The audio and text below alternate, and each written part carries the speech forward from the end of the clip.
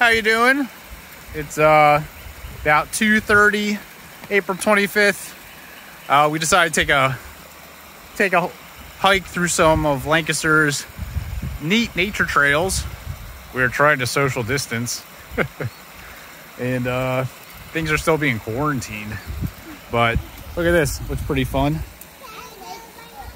We get to cross this neat this neat creek, and uh, Lydia took her shoe off, and uh, there's the girls having fun. There's Jen having a beautiful time. And you can see we're going to continue the expedition. Ooh, look at all that green. It's a nice day, about 65 degrees, so don't have to worry about any bugs. And there's the little darlings back there. Woo! To be continued.